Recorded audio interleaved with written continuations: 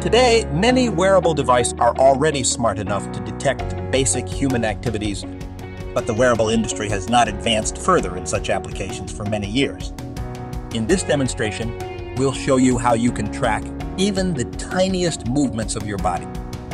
Our solution, not only sophisticated in AI analysis, but also energy efficient. For this, the model was fitted and running on the ultra-low power ISPU sensor from ST Microelectronics with power consumption as low as 0.46 milliamperes per hour. Based on accelerometer and gyroscope data, our tiny ML solution is capable to recognize 7 microamplitude daily human activities with accuracy of 98% and the memory footprint just a few kilobytes. We believe our works opens up new possibilities for wearables that can be used in industries such as remote elderly care or child monitoring. In addition to the excellent recognition of the main activities, one of the main characteristics is the absence of false positives.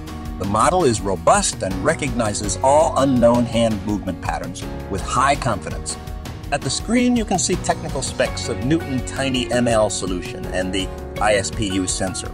As you can see, our solution is a perfect fit, even for such a resource-constrained device. And the great thing that it was built completely automatically with our unique neural framework. Neuton, and the SAIS platform, which you can try for yourself right now.